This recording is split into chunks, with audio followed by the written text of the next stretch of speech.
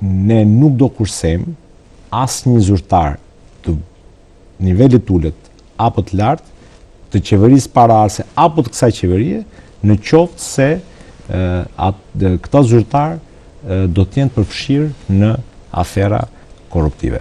Dhe ajo e sotmja është thjesht një ilustrim dhe një shprehje edhe një herë e vullnetit të kësaj qeverie për të luftuar korrupsionin.